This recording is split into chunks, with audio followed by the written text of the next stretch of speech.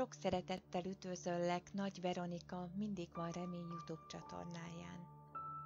Én a szentek nagy tisztelője vagyok.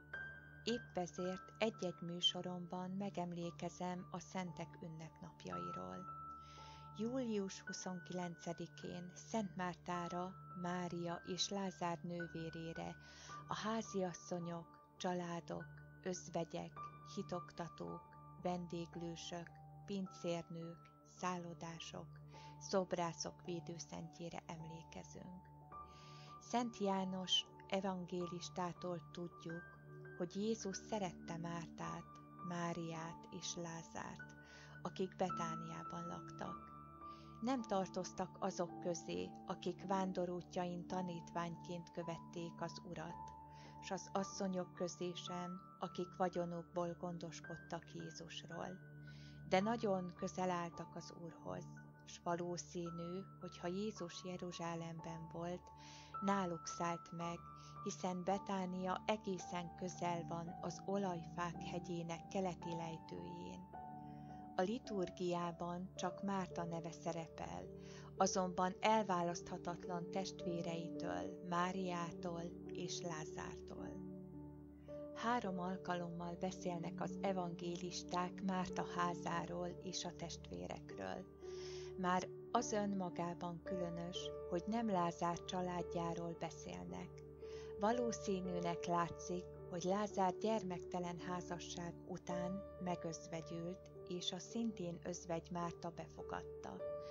Mária talán nem is volt férjnél, Sőt, a hagyomány legalábbis a nyugati egyházban Nagy Szent Gergely óta úgy tudja, hogy Mária azonos Mária Magdolnával, és szintén Márta házában élt.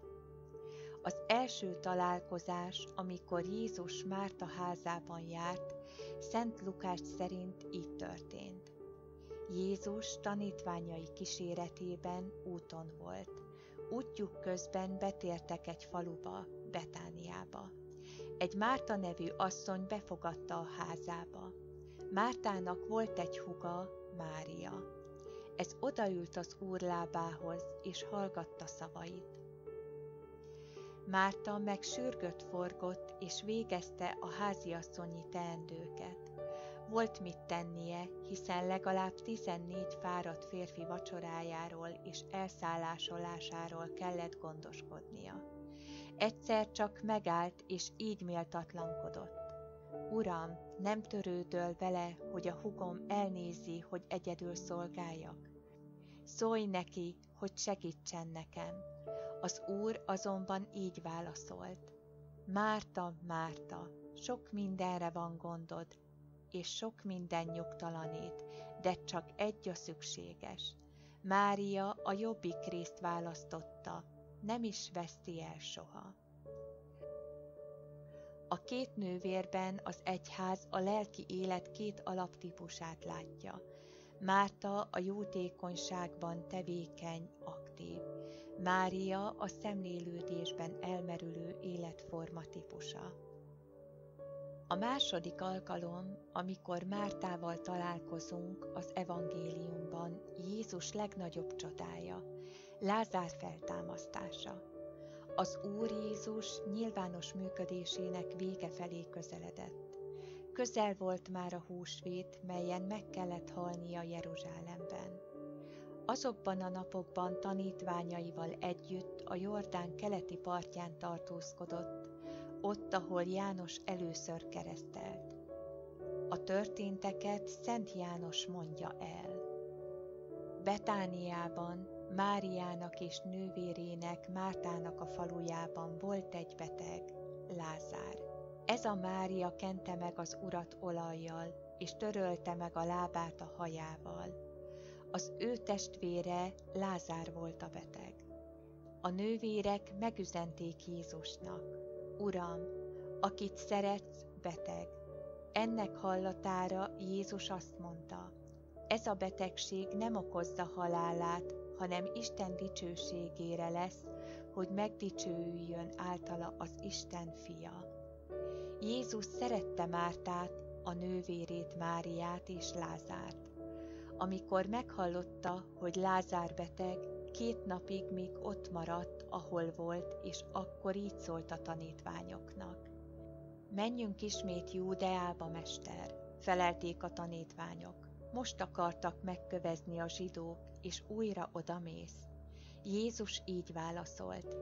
Nem, de tizenkét órája van a napnak. Aki nappal jár, nem botlik meg, mert látja a világ világosságát. Aki azonban éjszaka jár, megbotlik, mert nincs világossága. Azután így folytatta. Barátunk Lázár elaludt, de megyek és fölébreztem. Uram, ha alszik, akkor meggyógyult, mondták a tanítványok. Akkor Jézus világosan megmondta nekik, Lázár meghalt, miattatok örülök, hogy nem voltam ott, hogy higgyetek. De most menjünk el hozzá. Amikor Jézus megérkezett, Lázár már négy napja sírban volt. Betánia Jeruzsálem közelében feküdt, mintegy 15 stádiumnyira, körülbelül két és fél kilométer. Ezért a zsidók közül sokan elmentek Mártához és Máriához, hogy testvérük miatt végasztalják őket. Amikor Márta meghallotta, hogy Jézus közeledik, elébe sietett, Mária pedig otthon maradt. Márta így szólt Jézushoz, Uram, ha itt lettél volna, nem halt volna meg a testvérem.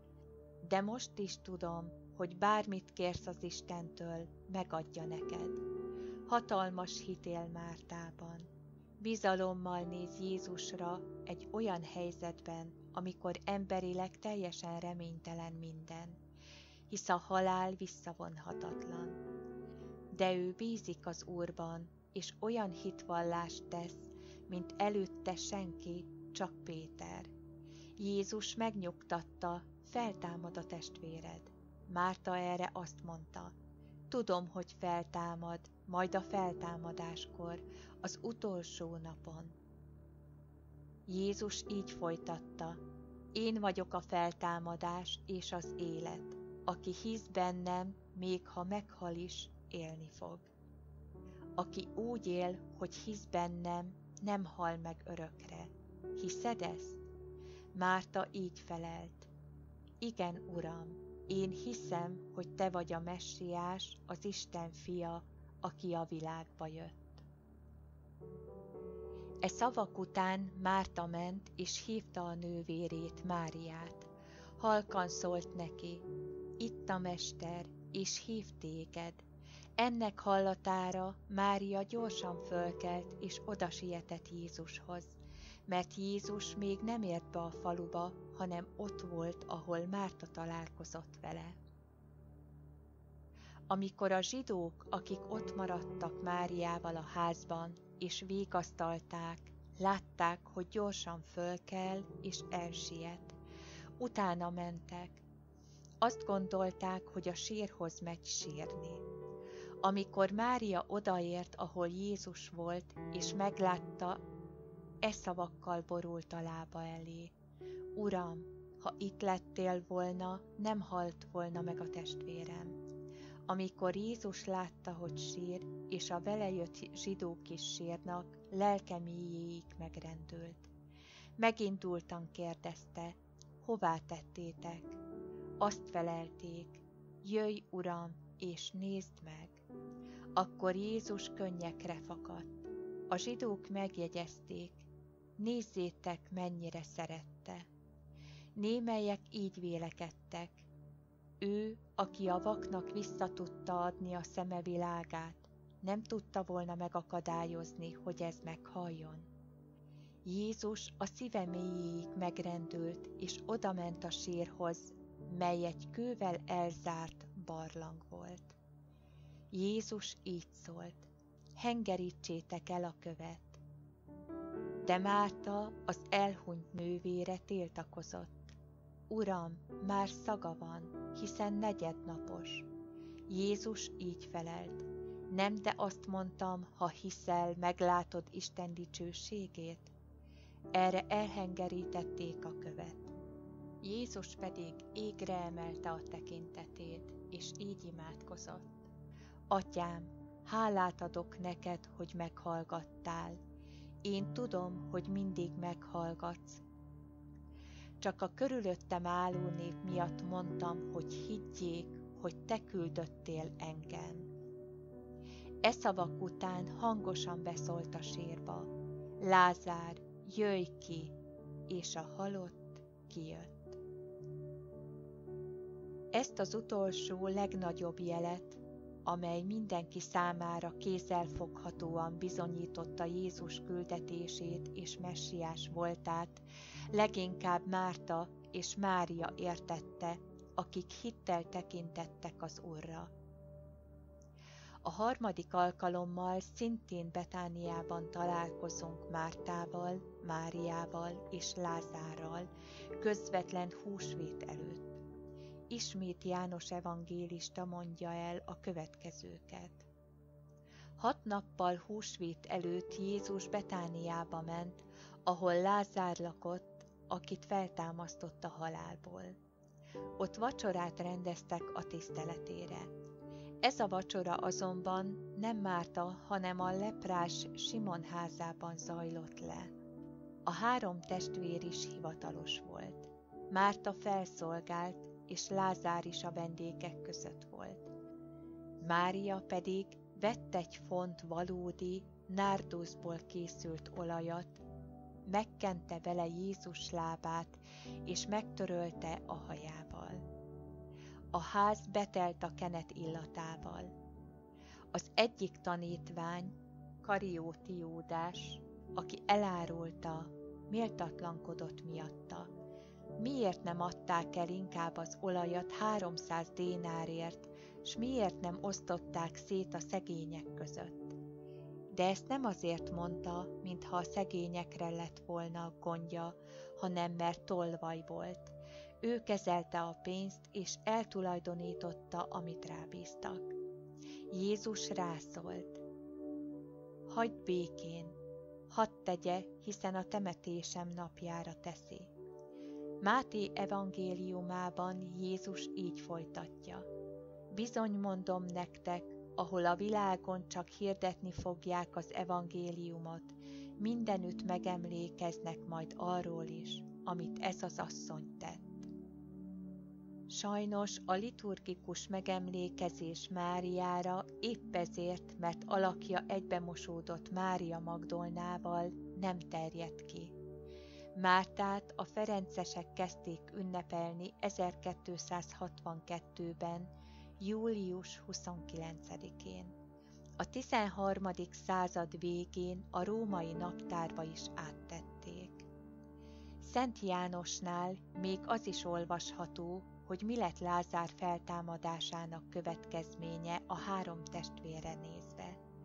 Amikor a zsidók megtudták, hogy Jézus Betániában tartózkodik, sokan elmentek. Nem csak Jézus kedvéért, hanem hogy Lázárt is lássák, akit feltámasztott a halálból. Erre a főpapok elhatározták, hogy Lázárt is megölik, mert miatta sok zsidó elment oda és hit Jézusban. Ezt a gyilkos tervet mégsem hajtották végre, Mártáéknak azonban érezniük kellett a hitetlen zsidók részéről a gyűlöletet, hiszen ők minden Jeruzsálembe zarándoklónak tanúságot tehettek a feltámadottról. A hagyomány tudja a család későbbi sorsát, és a legendákban írottak is ránk maradtak. E szerint az ősegyház elleni üldözésben 40 körül az egész keresztény közösséget, melynek Márta háza adott otthont, elfogták. Nagyobb csoportról volt szó, ezért nem merték megölni őket, hanem a tengerpartra hurcolták, és ott egy evező, vitorla és kormánylapát nélküli hajóra rakták, és a tengerre bocsátották őket. A kivégzésnek ez nagyon gonosz módja volt, hisz az áldozatokat a viharos tengerbe akarták folytani. Ám a hajó nem süllyedt el, hanem Galia partjánál szárazföldet ért. Kikötöttek és hirdetni kezdték az evangéliumot. A legenda szerint Lázár püspök lett Aix városában, Márta a város betegeit és szegényeit gondozta, Mária pedig remeteként élt még harminc esztendeig.